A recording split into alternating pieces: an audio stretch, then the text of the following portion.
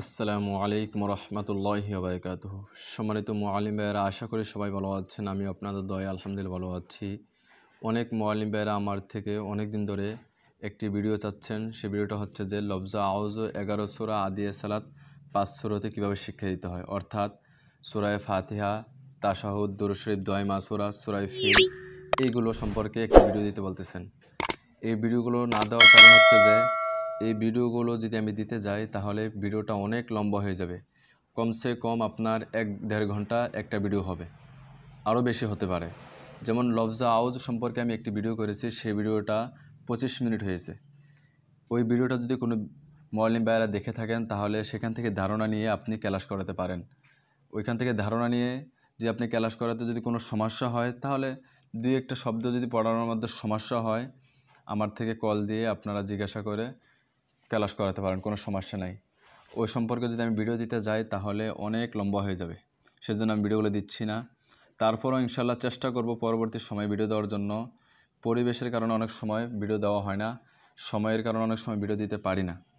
এজন্য বলতেছি যে, সেই ভিডিওটা দেখেন, দেখে ধারণা করে আপনার ক্যালাস করাতে পারবেন আমি আশা করি।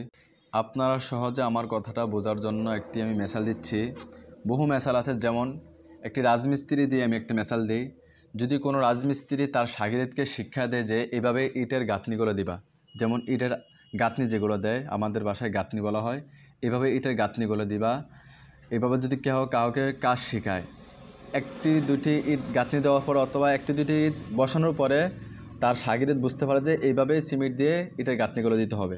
অথবা একটা কাজ শেখাই দেয় যে এইভাবেই কাজটা করবা একটা নিয়মে যত কাজ আছে, একটার কাজ যেভাবে নিয়মে আছে, এই নিয়মে যত কাজ আছে, সমস্ত কাজ সে করতে পারবে। অথবা এইভাবে গাড়িটা চলাইবা, এই নিয়মে যত রাস্তা যাবে, এইভাবেই গাড়িটা চালাবে। এভাবে অনেক মেশাল আছে।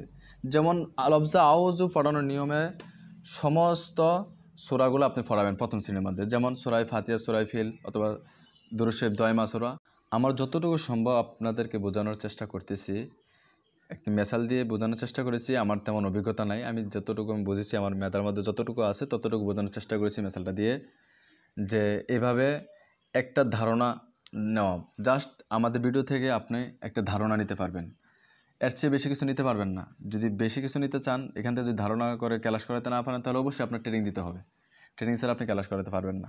আপনাদের সুবিধার জন্য একমাত্র আমি অনেক সুবিধা দিয়েছি আপনাদেরকে যেমন আপনারা যদি সেখান থেকে ভিডিও দেখে ধারণা করে যে ক্লাস করাতে না পারেন, তাহলে এই ভিডিও ডিসক্রিপশন বক্সে আমার নাম্বার দেওয়া থাকবে। সেখান থেকে নাম্বার নিয়ে আমার সাথে যোগাযোগ করতে পারবেন। অথবা এই ভিডিওর এন্ড স্ক্রিনের মধ্যে ওই ভিডিওর লিঙ্কটা দেওয়া থাকবে। অথবা এই ভিডিও ডিসক্রিপশন বক্সে আমার লিঙ্ক দেওয়া থাকবে। সেখান থেকে আপনি লফজা আওয়াজের ভিডিওটা দেখে সেখান থেকে ধারণা করে নিতে পারেন। আর এই ভিডিওর মধ্যে লফজা আওয়াজও কীভাবে ছাত্রছাত্রীদেরকে পড়াবেন, সেই বইটা সম্পর্কে এই ভিডিওটা করা। তারপরও যদি আপনাদের ভিডিও প্রয়োজন হয়, তাহলে অবশ্যই আমার সাথে যোগাযোগ করতে পারেন অথবা আমাকে বলতে পারেন ইনশাল্লাহ আপনাদের কমেন্ট অনুযায়ী ভিডিও দেওয়ার জন্য চেষ্টা যদি ভিডিওটা ভালো লাগে, অবশ্যই লাইক শেয়ার কমেন্ট করতে বলবেন না। যদি আমার চ্যানেল নতুন হয়ে থাকেন, অবশ্যই চ্যানেলটি সাবস্ক্রাইব করে রাখবেন আর পাশে থাকা বেল আইকনটি একটু অন করে রাখবেন, যাতে করে আমি নিত্য নতুন ভিডিও আপলোড দেওয়ার সাথে সাথে আপনার মোবাইলে সর্বপ্রথম পৌঁছে যায়। সবাই আমার জন্য দোয়া করবেন, আল্লাহ ফাকরবুল আলমী যেন আমাকে সুস্থতার সহিত আপনাদের খেদমত করার জন্য তৌফিক দেয়।